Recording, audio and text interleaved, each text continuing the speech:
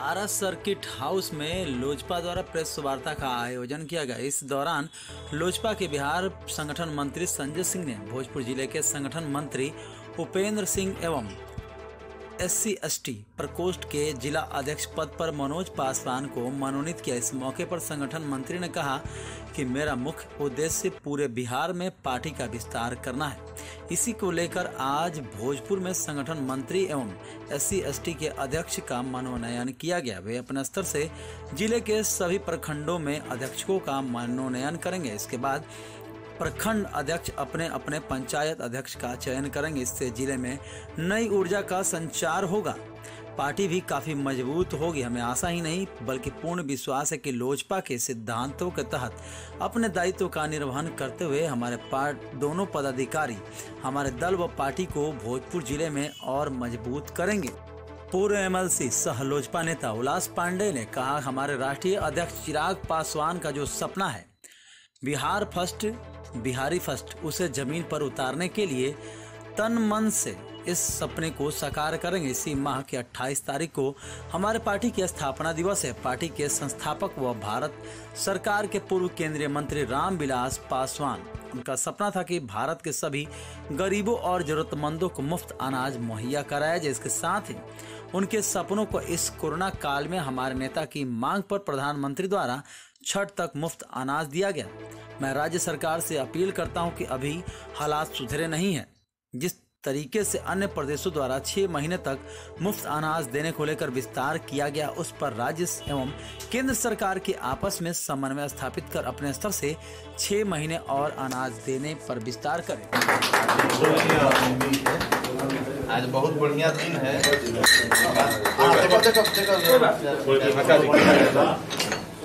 हाँ ले ना। ले हाँ सर बताया जब अभी एक बैठक और साथ में प्रेस कॉन्फ्रेंस किया, किस लिए किया गया?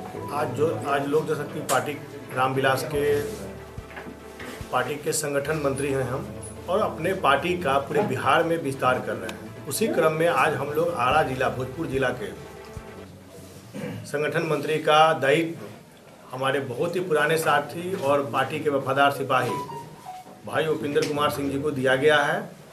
और पूरी निष्ठा जिस प्रकार से इन्होंने अपने पार्टी में रखा है, पहले से भी, और पूरी निष्ठा के साथ इन्होंने काम किया है, उसी प्रकार से मुझे आशा और विश्वास है कि इस संगठन विस्तार के बाद जिला में एक नई ऊर्जा का संचार होगा और जिला के जो भी साथी हैं, सबों के बीच में इनका जो अपना व्यवहार है, जो व्यक्तित्व है, उसके हिसाब से निश्चित रूप से ये जिला में जब संगठन मंत्री होने के कारण अपना जो दायित्व, इनको जो मिला है, उसका जो विस्तार करेंगे और पूरे बिहार पूरे जिला में अपना जो इनका अपना जो विस्तार करने का जैसे प्रखंड अध्यक्ष बनाएँगे अपना पंचायत अध्यक्ष इनके जो प्रखंड अध्यक्ष होंगे वो पंचायत अध्यक्ष बनाएँगे।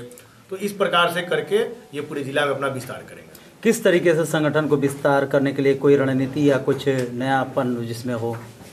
जी बिल्कुल। हमारे पार्टी का जो दायित्व इनको दिया गया है उसके हिसाब से इनको भोजपुर जिला के जितने भी प्रखंड हैं उस प्रत्येक प्रखंड में इनको प्रखंड अध्यक्ष बनाना है।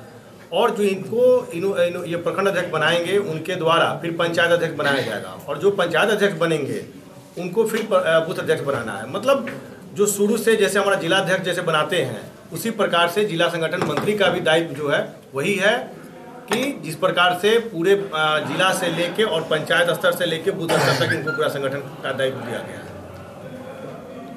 भोजपुर में एक मुखिया के जो अभी चुनाव जीते चर चरपोखरी से अभी हत्या कर दिया गया, निर्मम तरीके से क्या कहेंगे इस पर? देखिए, अभी हम आ रहे थे तो अभी बस सर्किट हाउस पहुँचने से जस्ट पहले हमको भी पता चला, बहुत ही निंदनीय और दुखद घटना है और इसकी जितना भी निंदा की जाए, यह कम है। बिहार में गिरते हुए कानून व्यवस्था का इससे बड़ा कोई उदाहरण नहीं हो सकता है कि नवनिर्वाचित मुखिया का हत्या इस प्रकार से कर दिया गया।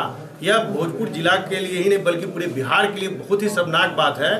और मुझे लगता है कि इस राज्य में अब जब एक जनप्रतिनिधि जो तिरस्तीय पंचायत के एक मज़बूत स्तंभ होते हैं, एक पंचायत के मतलब मुखिया जो होते हैं, वो एक मतलब जो लोगों के बीच से चुने हुए होते हैं, और उनकी निर्मम हत्या होती है तो निश्चित रूप से ये बहुत ही शर्म की बात है। और गिरती जो विधि व्यवस्था है, इससे मुझे लगता है कि अब आज के समय में कोई सुरक्षित नहीं है।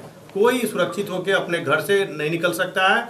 और जो डर और ये का जो भय का जो व्यापक है वो पूरे बिहार में निश्चित मुझे लगता है कि फिर से पुनः दोहराने दोहराने जा रही है। को लेकर एक थोड़ा सा बवाल उठा हुआ है कंगना रनौत को लेकर। जी।